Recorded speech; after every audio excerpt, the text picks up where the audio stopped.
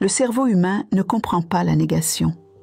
Aujourd'hui, je vais vous parler d'un principe fondamental pour bien formuler vos affirmations et pensées. Saviez-vous que notre cerveau ne comprend pas la négation?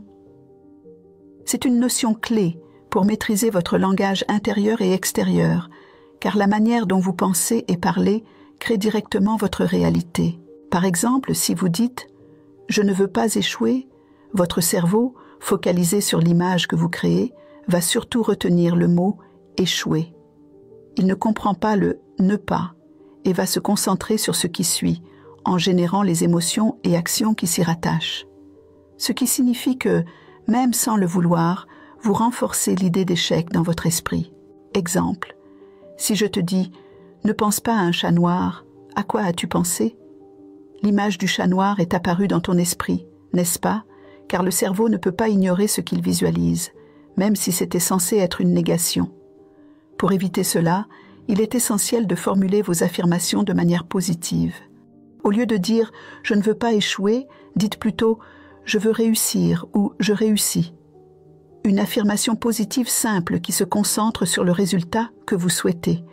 Ou encore plus fort, dites pourquoi je réussis? Cette question amène votre cerveau à chercher des raisons pour lesquelles vous réussissez déjà, même inconsciemment. Le cerveau adore répondre aux questions. En demandant pourquoi je réussis, vous orientez automatiquement votre esprit vers des réponses positives.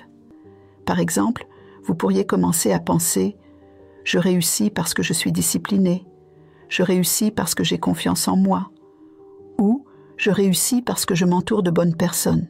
Vous voyez? En formulant vos pensées ainsi, vous guidez votre cerveau vers ce que vous voulez vraiment accomplir plutôt que vers ce que vous voulez éviter.